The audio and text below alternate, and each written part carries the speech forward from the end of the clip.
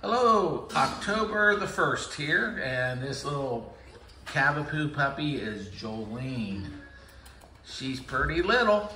She's starting out to be 10 to 12. Now she may go a little over that, but she may just stay pretty tiny as well.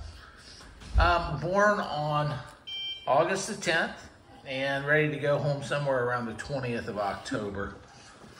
Ava, let's go ahead and cradle her up. Now she has, um, she has had, or she's up to date in her vaccinations. She's microchipped, and the vet was here and checked her out and said this is a perfect little puppy. Um, don't know what I can really tell you about her. Um, has some really nice coloring. Has some nice white markings that has little white mittens. But if you're interested in this little girl, feel free to give me a call. I'd love to visit with you about her. Thank you.